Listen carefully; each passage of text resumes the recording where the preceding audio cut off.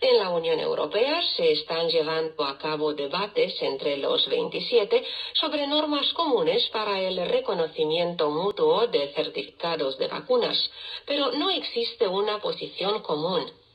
La Comisión Europea presentará este mismo mes una propuesta sobre un certificado de vacunación para los ciudadanos de la Unión Europea.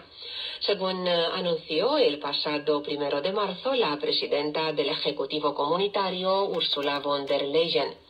Su objetivo, según ha añadido, será proporcionar la prueba de que una persona ha sido vacunada, resultados de las pruebas para aquellos que no han podido vacunarse aún sobre la recuperación de la COVID-19, respetando la protección de datos y la privacidad. La medida será presentada el día 17 de marzo, según ha avanzado el vicepresidente de la Comisión, Margaritis Chinas, tras un encuentro eh, de los ministros de salud de la Unión Europea. El certificado estará basado estatus médico con el objetivo de facilitar los viajes por placer o trabajo, ha explicado un portavoz de la Comisión. La idea de crear un pasaporte sanitario sobrevuela Bruselas desde hace meses y comenzó a cobrar fuerza a principios de este año, sobre todo ante la insistencia de países que viven del turismo y por tanto de la reactivación de los viajes como Grecia y España. La más reciente cumbre europea virtual celebrada a finales del pasado mes de febrero ha acelerado su implementación en ella, los 27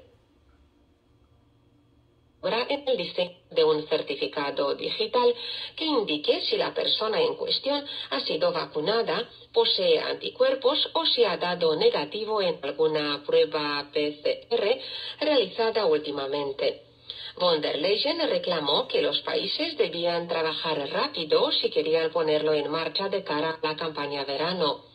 La Comisión pretende que el certificado pueda ser verificado y reconocido en cualquier parte de la Unión Europea y busca que sea una solución sencilla.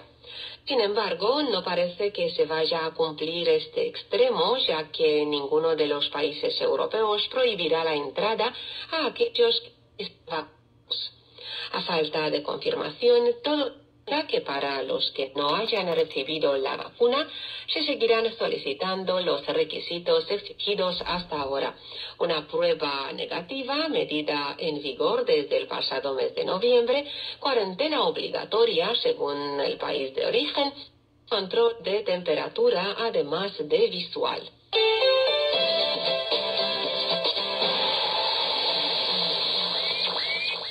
¿Qué necesitaremos para viajar este verano? Pues este detalle todavía no está decidido porque depende de la evolución de la pandemia. De momento se sigue recomendando viajar solo si es estrictamente necesario. A día de hoy los requisitos varían dependiendo del país al que se quiere llegar. En la temporada de verano, si la situación epidemiológica mm, ha mejorado y se puede recuperar la movilidad, las condiciones actuales se revisarán. El objetivo de los países de la Unión Europea es consensuar estos requisitos, variar en función de la incidencia del virus en este momento en el país de origen. Para eso será necesario compartir información y de cara a los turistas de terceros países hará falta también un acuerdo en la Unión Europea para exigir la misma documentación. No tiene sentido que a un turista estadounidense, por ejemplo,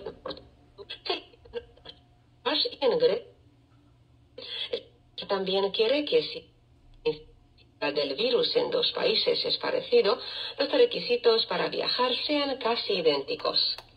El objetivo es doble llegar a tiempo con este sistema para poder favorecer la vuelta de la movilidad internacional y evitar en un sálvase quien pueda y que cada país impulse su propio pasaporte COVID. También los responsables rumanos han opinado sobre la posibilidad de crear un pasaporte COVID. Es una decisión política que no tiene nada que ver con la medicina Todos sabemos claramente que una persona, aunque sea vacunada y tenga cuerpos, puede transmitir el virus. Es una decisión puramente política, afirma el senador del Partido Socialdemócrata Adrián Streinur, antiguo director del Instituto Matei Valls de Bucarest. Durante la cumbre celebrada a finales de febrero, el presidente Klaus Johannes se pronunció a favor de un enfoque coordinado y unitario a nivel europeo, señalando que el certificado de vacunación debía utilizarse para fines médicos y el proceso de identificación de los elementos técnicos que contiene un certificado a nivel europeo deberá continuar. El pasaporte sanitario es no puede poner fronteras entre personas en función de la vacuna, ha afirmado el presidente del Consejo Nacional del Partido Socialdemócrata, Vasile Dâncu.